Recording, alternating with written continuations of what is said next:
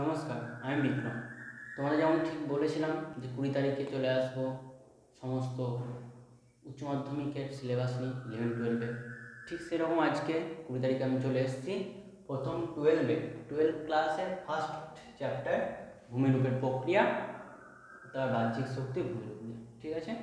তো প্রথমেই মনে হবে যে ভূমিরূপের প্রক্রিয়ায় বাহ্যিক শক্তি ভূমিরূপ বলা আছে। কিন্তু এখানে আমরা ছকে দেখো তোমাদের সুবিধা টাইম বাঁচানোর জন্য আমরা সমস্ত ছকটা লিখে রেখেছি। তো এখানে অন্তর্জাত প্রক্রিয়া বলা আছে বৈদ্যুত প্রক্রিয়া বলা আছে ওকে কিন্তু আমাদের টুয়েলভে বিস্তারিত বৈদ্যুত প্রক্রিয়ায় আলোচনা করা আছে, তো আমরা বিস্তারিত বৈদ্যুত প্রক্রিয়া আলোচনা করব। কিন্তু প্রথম থেকে আমরা শুরু থেকে অন্তর্জাত প্রক্রিয়াটা একবার দেখে নেব ওকে চলো দেখি। তাহলে কি বলেছে? ভূমিরূপ প্রক্রিয়া। তো খুব সহজ ও সরল ভাষায় আমরা সমস্ত ডেফিনেশন বুঝব। দেখবে খুব সুবিধা হবে তোমাদের বুঝতে। তো কি বলেছে? ভূমিরূপ প্রক্রিয়া বলতে কি বলছে বলে, না, ভূমিরূপ গঠনের যে প্রক্রিয়া, তাকে ভূমিরূপ প্রক্রিয়া বলে।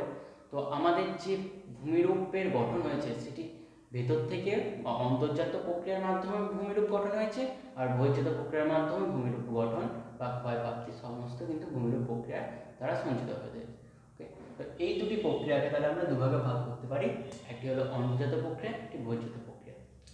অন্তর্জাত প্রক্রিয়া বলতে কি বলছো অন্তর্জাত, এখানেই সহজে বোঝা যাচ্ছে অন্ত থেকে আসছে অন্ত মানে হচ্ছে ভিতরে, আমরা জানি।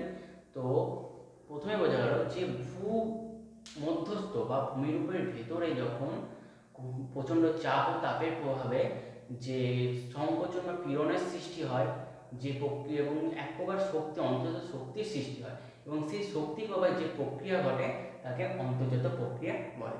ওকে বা অন্তর্জাত প্রক্রিয়া আমরা কীরকম? দেখি, অন্তত প্রক্রিয়াকে আমরা দুভাবে দেখতে পাই। একটি হলো ধীর আলোড়ন, বা ধীরভাবে ঘটে থাকে একটি একটি হলো আকস্মিকভাবে লক্ষ্য করা যায় অন্তর্জাত প্রক্রিয়া। কী হবে না? অন্তত প্রক্রিয়া ধীরের মধ্যে আসছে মহিব্যাপক আলোড়ন আর গিরিজনী আলোড়ন, যেটি প্রচণ্ড ধীর গতিতে কয়েকশো বছরের ফল তা আমরা দেখতে পাই।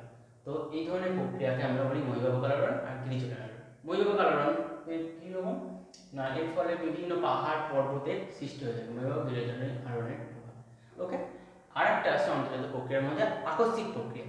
ঠিক আছে? আকস্মিক আলোড়নের মধ্যে আছে ভূমিকম্প অগ্নুৎপাত যেগুলো আমরা খুব তাড়াতাড়ি অনুভব করতে পারি। তার জন্য এটাকে আমরা আকস্মিক প্রক্রিয়া বলা হয়। ওকে বোঝা গেল অন্তর্জাত প্রক্রিয়া আমরা এইটুকুই বুঝব।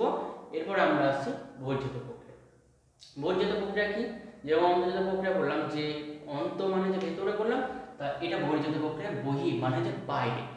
তো ভূপৃষ্ঠের বাইরে যে সমস্ত আমাদের শক্তিগুলো আছে, প্রাকৃতিক শক্তি, কার্যকারী শক্তি যেমন নদী, হিমবাহ, বায়ু, সমুদ্র, তো এই সমস্ত শক্তির প্রভাবে যে প্রক্রিয়ার বা ভূমিরূপ গঠনের যে প্রক্রিয়া ঘটে থাকে, তাকে আমরা বৈচিত প্রক্রিয়া বলে থাকি। ওকে বোঝা গেল সহজ ভাষায় এরপর আসছি বৈচিত প্রক্রিয়া শ্রেণীকা কি না? বৈচিত প্রক্রিয়াকে আমরা তিন ভাগে ভাগ করতে পারি। একটি হলো অবরোহণ, একটি আরোহণ, একটি হলো জৈবিক। ওকে তিনটি প্রক্রিয়া আমরা শ্রেণীভাগ করতে পারি। তো অবরোহণ অবরোহণ প্রক্রিয়া মানে কি?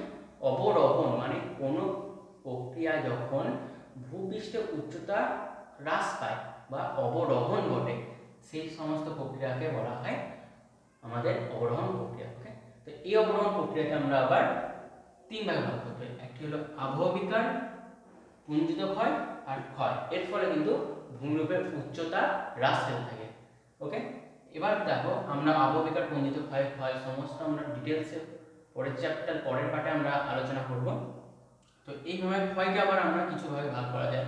যেমন প্রতিটা শক্তির সাহায্যে আমরা ভাগ করা নদী নদী দ্বারা ক্ষয় হয়ে থাকে, নদী হয় হিমবাহের দ্বারা ক্ষয় যে হিমবাহ হয় সমুদ্র দ্বারা ক্ষয়, বায়ু দ্বারা ক্ষয় ব্রহ্মজল দ্বারা। যে বিভিন্ন শক্তির দ্বারা ক্ষয় হয়, সে সমস্ত একটি ক্ষয়ের রূপে চিহ্নিত করা হয়েছে। ওকে এরপরে আসছে আমাদের আরোহণ। আরোহণ মানে কি? উত্থান।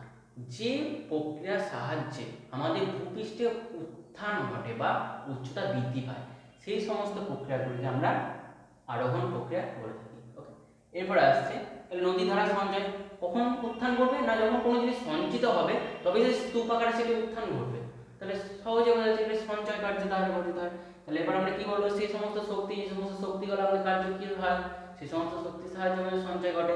তাহলে নদী দ্বারা সঞ্চয়, হিমবাহ দ্বারা সঞ্চয়, বায়ু দ্বারা সঞ্চয়, সমুদ্রের দ্বারা সঞ্চয়। বোঝা গেল? এরপর আসছে জৈবিক প্রক্রিয়া। ওকে? তো জৈবিক প্রক্রিয়া কি? না জীবকুলের দ্বারা ক্ষয় আর জীবকুলের দ্বারা সঞ্চয়। এই সমস্ত প্রক্রিয়া হলো দুই প্রক্রিয়া। জীব করলে মানুষ তার মধ্যে পড়ে, প্রাণী বা বিভিন্ন জীব সাহায্যে যে সমস্ত ভূমিরূপের যখন ক্ষয় হতে হ্রাস ঘটে, আবার কোনো কোনো জায়গায় সঞ্চয় হতে হতে আবার আমাদের কোনো ভূমিরূপের উত্থান ঘটে। তো এইভাবে আমরা সমস্ত ভূমিরূপ প্রক্রিয়া কার্যকরী বা শ্রেণি করা হয়েছে। বোঝা গেল? খুব সহজ, সরল ভাষায় আমরা চ্যাপ্টারটা বুঝে নিলাম। ফার্স্ট পার্ট আমাদের চ্যাপ্টার এটা আজকে ফার্স্ট পার্ট এরপরে আবার আমাদের প্রতিটা পার্ট আসবে একটা করে। কেমন লাগল তোমাদের চ্যাপ্টারটা তোমরা অবশ্যই কমেন্ট করে জানাবে। আর ভালো লাগলে লাইক করো শেয়ার করো। সবার মধ্যে পৌঁছে দাও। যাতে ওটা পশ্চিমবঙ্গের ছেলেরা উপকৃত হয়। তোমাদের দ্বারা যাতে সবাই মিলে পড়তে পারে থ্যাংক ইউ